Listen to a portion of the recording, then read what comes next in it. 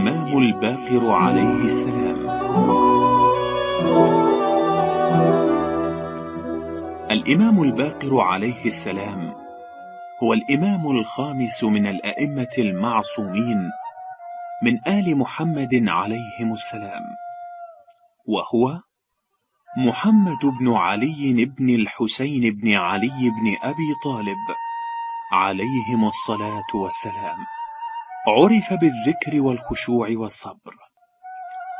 تتلمذ على يدي الإمام الباقر عدد كبير من الفقهاء والعلماء من التابعين وكبار الأئمة. وروى له البخاري ومسلم.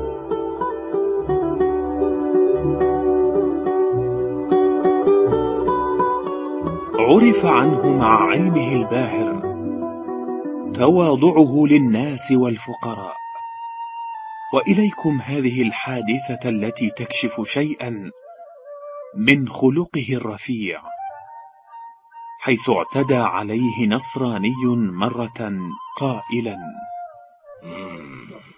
ما اسمك؟ محمد الباقر أنت بقر؟ أنا باقر آه أنت ابن الطباخة. أجل تلك حرفتها. أنت ابن السوداء. نعم هي كذلك. أمك سوداء زنجية بذيئة. إن كنت صدقت غفر الله لها وإن كنت كذبت غفر الله لك. أفاق النصراني إلى رشده بعد أن رأى من أخلاق الإمام الحلم والتسامح. فتاب إلى الله وأسلم على يدي الإمام.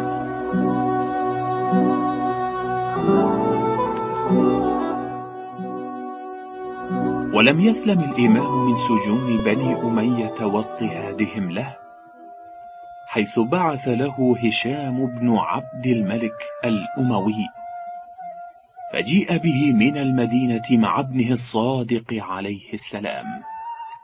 وكان أن اتفق هشام بن عبد الملك مع حاشيته وزبانيته أن يسيئوا للإمام في الكلام ويقللوا من شأنه بعد أن يحدثه هو.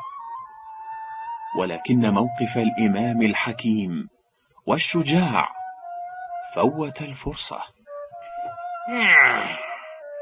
يا محمد بن علي. لا يزال الرجل منكم قد شق عصا المسلمين ودعا إلى نفسه وزعم أنه الإمام سفها وقلة علم. فلما سكت هشام تحدث القوم فأساءوا القول للإمام. فلما سكتوا قال لهم أيها الناس أنا تذهبون وأين يراد بكم؟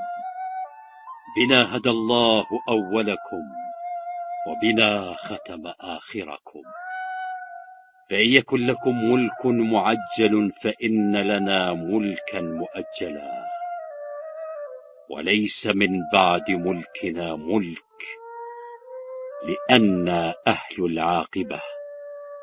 ويقول الله عز وجل والعاقبة للمتقين.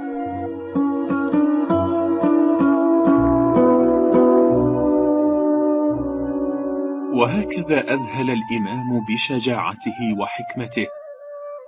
أهل الشام وخليفتهم الأموي الذي لم يجد إلا السجن مكانا للباقر وابنه عليهما السلام.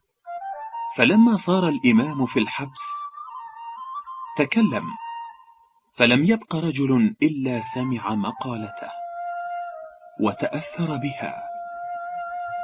فجاء صاحب السجن إلى هشام وأخبره بخبره فأمر به فحمل مع البريد إلى المدينة المنورة.